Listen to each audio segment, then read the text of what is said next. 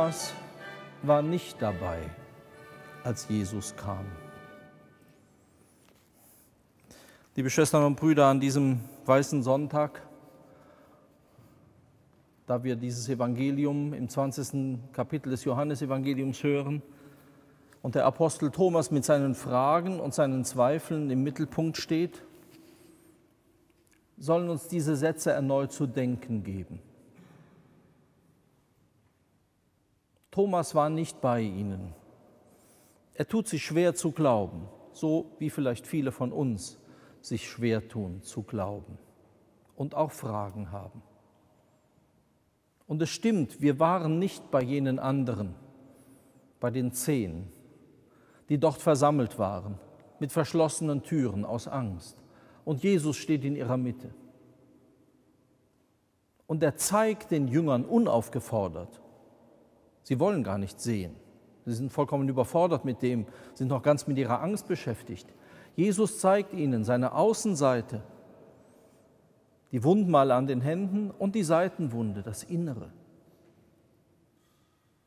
Aber er tut noch mehr. Er wünscht ihnen den Frieden.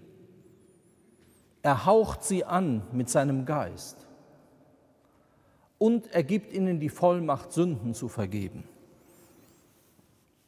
Das ist für einen Sonntagabend nach all dem Geschehen, nach Kreuzigung und Grablegung und Angst haben und sich verschließen, ziemlich viel.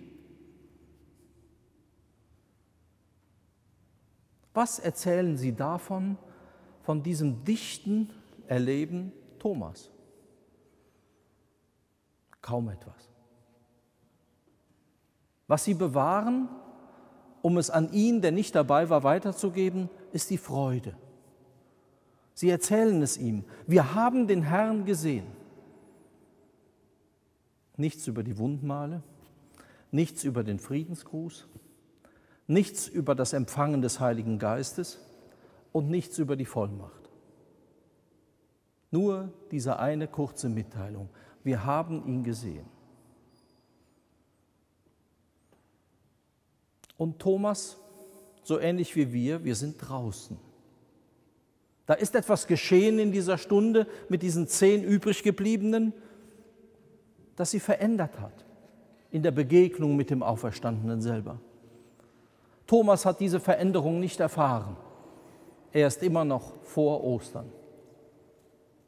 Deshalb setzt er etwas in Gang, das uns helfen kann. Es ist uns ja vertraut, Dinge nachzuprüfen. Wir wollen den Dingen auf den Grund gehen. Wir wollen es ganz genau wissen und dazu hilft uns nicht nur ein Sinn. Sehen reicht nicht.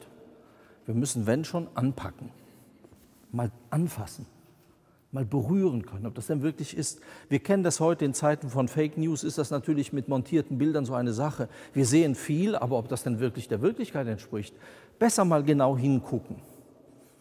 Das wusste Thomas auch schon ohne Fake News. Er setzt etwas in Gang, von dem Adrienne von Speyer in ihren Betrachtungen zu dieser Stelle eine sehr schöne Bemerkung macht die ja nicht nur mit Thomas zu tun hat, sondern mit uns allen. Wenn jemand aus diesem, wie sie sagt, aus dem strahlenden Osterglauben, von dem die zehn anderen schon erfüllt sind, herausgetreten ist,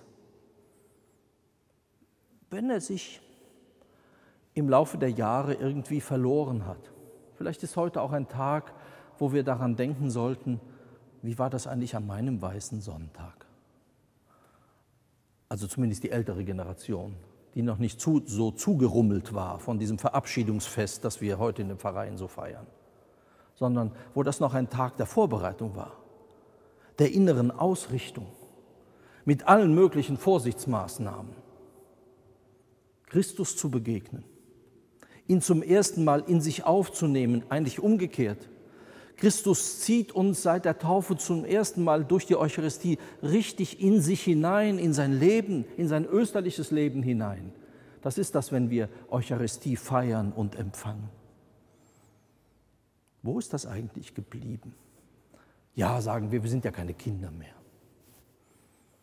Aber Jesus, der, dessen Tod wir begangen haben und dessen Auferstehung wir feiern, den wir als lebendig bekennen, Er liebt nicht nur die Kinder, sondern er sagt von allen, die ihm nachfolgen, wenn ihr nicht seid wie die Kinder, könnt ihr nicht in das Himmelreich kommen. Vielleicht wäre es gut, sich gerade am Weißen Sonntag noch einmal an diese Stunde, an diese Erfahrung, an diese durchaus echte, gute, kindliche Erfahrung zu erinnern und sie wachzurufen. Und zu fragen, was ist in all den Jahren, in den Jahrzehnten, auch in den Erfahrungen mit der Kirche, was ist da eigentlich passiert? Wer aus der, so Adrien von Speyer, wer aus der Mitte des wahren, selbstverständlichen Glaubens herausgeraten ist, kann von sich aus nur durch solche schrittweise Annäherung sich zur Mitte zurücktasten. Es gibt also einen Weg. Es geht nicht darum, das abzuhaken und sagen, ach ja, es ändert sich halt alles im Leben, es ist ein bisschen Schwund, ist wie beim Verheiratetsein, irgendwann ist das so eine Sache. Gewöhnung ist das große Stichwort. Es greift sich halt alles ab. Selbst wenn wir dran gepackt haben, es greift sich halt alles mal irgendwie ab. Fühlt sich alles nicht mehr neu an. Aber deshalb feiert die Kirche die Ehe, das Sakrament, genau wie die Eucharistie. So etwas greift sich nie ab. So etwas ist durch den Zuspruch Gottes, wenn man es denn wirklich lebt, immer neu. Jeden Tag neu. Das ist das Geschenk dessen, was wir Gnade nennen. Es geht nicht nur um uns, um unsere Sinne, sondern es geht eben darum, dass es gefüllt wird mit etwas, das wir selber nicht wünschen, nicht herstellen können. Gnade. Und deshalb hat in seinem ganzen Zweifel und Unglauben Thomas einen rechten Pfad gelegt. Adrienne von Speyer scheut sich nicht, das den Pfad der Kontemplation zu nennen. Dass wir nämlich zu diesem strahlenden Osterglauben zurückfinden können, indem er uns dann geschenkt wird, wenn wir diesen deduktiven, durchaus materiellen Weg gehen. Er fragt ja nicht nach irgendwas. Er sagt ja nicht, was hat er denn gesagt? Oder hat er irgendwas gemacht? Das hat er irgendeinen Satz gesagt, den er früher oft gesagt hat? Er fragt doch nicht nach dem Brotbrechen, an dem die Emaus-Jünger ihn erkennen. Er fragt direkt nach dem, was er selber nicht verstanden hat. Was ist da eigentlich am Kreuz passiert? Warum sind wir drei Jahre einem nachgelaufen, den man dann öffentlich aufhängt? ihn kreuzigt. Welch, ein, welch eine Blamage, welch eine Schande, welch ein Fluch. Thomas ist gläubiger Jude. Verflucht ist, wer am Holz hängt. Diese Stelle aus dem Deuteronom kennt er, wie all die anderen auch. Und deshalb geht er genau zu diesem Punkt, den er nicht verstanden hat.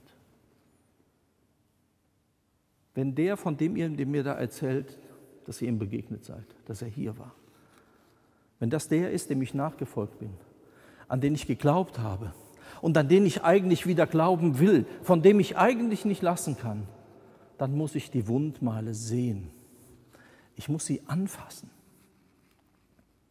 Das, liebe Schwestern und Brüder, ist bis heute ein wunderbarer Weg. Kein leichter Weg, aber ein wunderbarer Weg.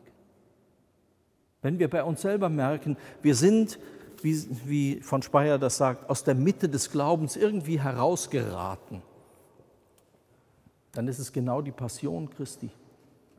Dann sind es genau seine Wunden, über die wir ihm wieder begegnen können. Es sind genau die Punkte, die wir nicht verstehen und manchmal nicht verstehen wollen, an die wir heran müssen. Nicht in Form einer permanenten Selbstbeschäftigung, sondern ganz ausgerichtet auf ihn. Denn Thomas thematisiert ja nicht, wie das heutige Exerzitien machen, permanent sich selber und insistiert auf seinem Unglauben und was er alles noch nicht verstanden hat. Nein, er fragt nach den Wunden Christi, die ihm heraushelfen aus dieser Eigendrehung, die ihm einen Weg zeigen zu diesem Bekenntnis, das er dann ablegen kann. Und das erneut unser Bekenntnis sein muss wenn wir den, den Weg des Thomas zu gehen bereit sind. Mein Herr und mein Gott.